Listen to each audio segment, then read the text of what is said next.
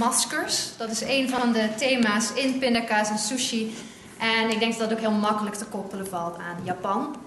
Ehm, maskers zijn natuurlijk een heel interessant thema, want wij doen ons graag in het dagelijks leven, maar ook als fans graag voor als iemand anders. Dus kostuums, maskers, dat is een thema in de boekenreeks dat ik even kort zal uh, aanstippen. En uh, daarna gaan we natuurlijk naar Roderick, die ook een praatje heeft. Um, dus maskers, ik zie daar drie lagen in die ik even kort zal uh, behandelen hier. De eerste is natuurlijk uh, de laag van fans, waarover Roderick heel veel schrijft. Uh, voor fans zijn maskers en kostuums heel erg belangrijk, dus daarmee zal ik aftrappen. vervolgens zal ik nog een bruggetje maken naar hoe werkt dat dan voor Japan en Japanse historie, want ook daarin zijn maskers heel voornaam. Denk aan het noodtheater, denk aan, nou ja, aan de festivalcultuur. Um, en vervolgens zal ik het dan hebben als afsluiter over hoe maskers ook een thema zijn binnen het boek. Uh, want in het boek uh, is de identiteit van de hoofdpersoon, um, die wordt heel interessant beschreven via het thema maskers. En vooral in Pindakaas en Sushi 2 is dat het cruciale thema. Dus ik ben ook heel benieuwd in die zin naar boek 3. Want uh, ja, het had een heel erg spannende cliffhanger. Dus ik ben benieuwd wat je ervan gemaakt hebt hoor, Roderick. Um, dus ja, maskers. Als we denken aan uh, Japanse cultuur en aan kostuums. Um, ik denk dat iedereen van ons wel bekend is met gewoon verkleden, ook al zijn we al dan niet fan. Verkleden is toch een onderdeel van ons dagelijks leven en van al onze rituelen. Of je nou denkt aan Halloween of carnaval, wat er alweer zit aan te komen. Ik zag alweer wat verklede mensen in de trein, dus het is weer tijd. Um, maskers die horen daarbij. En um, die vormen deel uit van die rituelen. Die zijn een manier om te ontsnappen aan het alledaagse. En om een soort symbolische, carnivaleske werkelijkheid in te gaan. Het is daarin ook een soort medium, een masker. Daardoor kunnen we ons even voordoen als iemand anders. En in die zin faciliteert het ook escapisme. Um, voor veel mensen zijn maskers dus verbonden aan dat soort rituelen. Maar voor enkele van ons zijn maskers en kostuums natuurlijk wat meer. Um, en dan heb ik het natuurlijk over de fans, voor wie verkleden echt heel, heel belangrijk is. Als je kijkt naar fans van Japanse popcultuur, dat is een van de voornaamste en zichtbare uitingen aan fan zijn van Japan is toch je verkleden, cosplay doen, costume playing. Dus het, het imiteren van fictionele personages, vaak in zelfgemaakte kostuums. Zijn er cosplayers hier? ja, oké, superleuk. Nou, dus voor jullie is het natuurlijk niet zo bekend, maar ik zal toch even voor de anderen het een beetje toelichten. Uh, cosplay is natuurlijk het, het opvoeren van een fictioneel personage, vaak in een kostuum dat we ook zelf maken dat is een hobby die natuurlijk veel tijd kost. Vaak zijn die designs uit Japanse popcultuur en games heel uitgebreid. Dat zijn dingen die het echt super, mogelijk, super moeilijk zijn om te maken, omdat ze soms ook nou ja, alle zwaartekracht ontstijgen. Dus uh, voor een cosplay is het vaak zaak om heel creatief te zijn. Uh, goed om te gaan met naaipatronen, de juiste stoffen uit te zoeken, de juiste manier van make-up en griem. Dat alles kost heel veel tijd. Het is een, een hobby waarin uh, ja, het vervaardigen van het kostuum echt heel tijdrovend is. Gelukkig ondersteunen we daarin ook elkaar. We zijn natuurlijk ook een community van fans die elkaar dat leren. Maar ja, dat is, dat is heel belangrijk om even in, je hoofd te houden. Het is een heel erg toegewijde hobby waarin je toch heel erg intiem bezig bent met dat personage. En dat personage ook echt maken en opvoeren. Ja, dus cosplay is, is heel uh, bekend. Um, ook een heel universele hobby. Hè? Het is heel bekend in Amerika. Denk aan de Comic Cons. Het is ook heel bekend in Nederland. Uh, dat zien we ook in Pindakaas en Sushi 1. Waarin natuurlijk een fanconventie bezocht wordt. Abunai, waarschijnlijk. Ik ga je even, even een gokje hoor. Um, maar... Uh, ja, dus we zien een naamloze conventie die duizenden fans trekt per jaar en vele daarvan zijn verkleed. Um, ja, dus ook in Nederland wordt dit steeds uh, populairder, ook met de opkomst van steeds meer comic-cons in Nederland.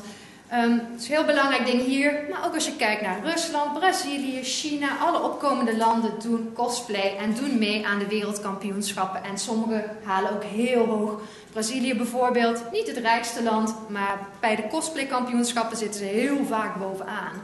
Dus dat is heel interessant. Dus een heel universele uh, hobby.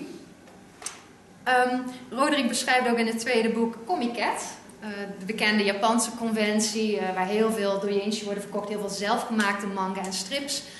ieder jaar trekt dat twee keer per jaar een half miljoen bezoekers. Dus bedenk je, ja, een miljoen mensen gaan daar toch weer steeds naartoe op regelmatige basis. naar Tokyo Big Side om daar ja, nou, dingen te kopen, maar ook om kostuums te dragen. Ehm, ik ben zelf ook naar Comic Cat geweest voor mijn onderzoek en ik vond het echt heel fascinerend. Maar ik denk dat een van de dingen die je echt even in gedachten moet houden is dat cosplay daar toch iets anders is dan in Nederland. Um, op Comic Cat mag je alleen cosplay in bepaalde gebieden. Dus hier in Nederland zien we mensen, ja, we zien ze in de trein al verkleed, bij wijze van naar de con gaan. Dat gebeurde in Japan eigenlijk niet. Um, daar heb je een binnenplaatsje en daar wordt het meeste cosplay gebeuren, vindt daar plaats. En mensen fotograferen vooral uh, en poseren. Dus het is veel visueler dan het hier is, waar het toch echt meer een rollenspel-element nog in zich heeft.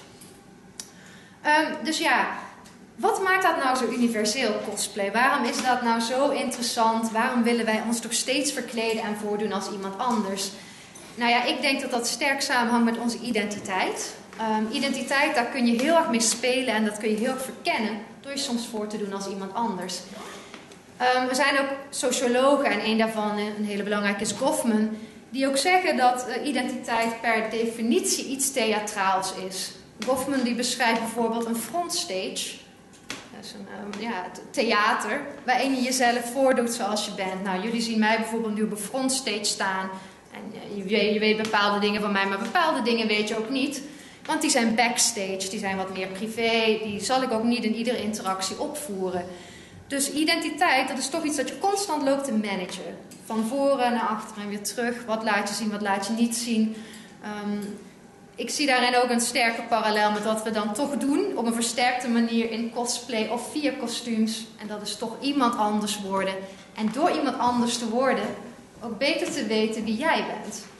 En dat vind ik dus ook een fascinerend ding aan cosplay. En uh, daarover hadden mijn interviewees het ook vaak. Ik heb veel cosplayers geïnterviewd van verschillende landen.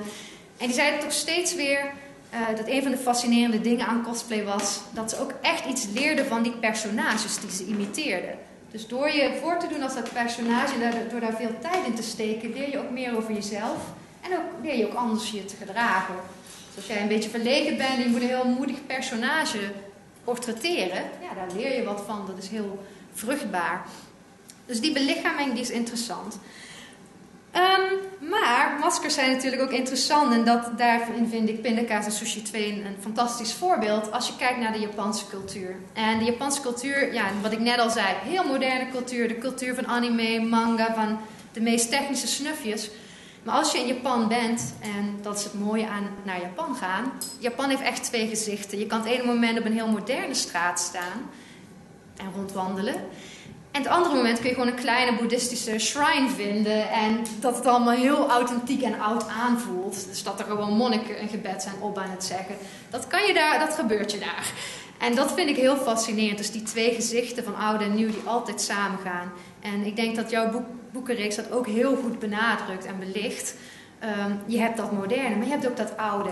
En dat oude zie je in pindakaas en sushi ook terug. Die traditie van nou ja, maskers en van het oude Japan. Als bijvoorbeeld de vrienden naar een uh, zomerfestival gaan in uh, het tweede boek. En in het tweede boek zie je ook, daar komt een Japanse personage langs. En die, is, die wordt heel belangrijk, Kenji. En die vertelt ook heel veel. Hè? Dat is een medium voor jou om die Japanse cultuur ook te belichten. Hè? Want hij vertelt heel veel verhalen. Nou ja, bijvoorbeeld over Japanse demonen, over yokai. Hij, hij, geeft de uitleg op, in allerlei situaties over hoe we dingen moeten lezen en zien in Japan. Dus hij is een beetje hun gids. En uh, ja, dat is ook een fascinerend personage. En een van de uh, mooiste scènes, als je het hebt over boek 2, uh, vind ik als ze op dat festival zijn. En dan is er een kraam vol maskers. En de vrienden hebben de grootste lol met van alles opzetten. Oh, het wordt heel sfeervol hier. Lichten vielen uit.